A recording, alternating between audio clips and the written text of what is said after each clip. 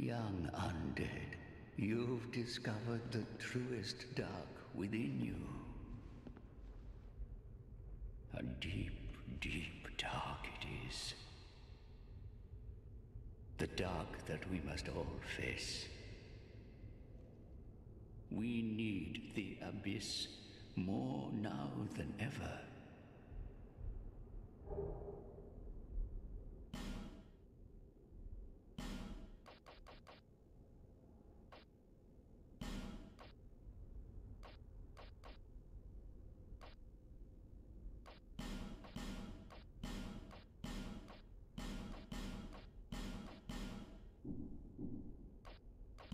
I bequeath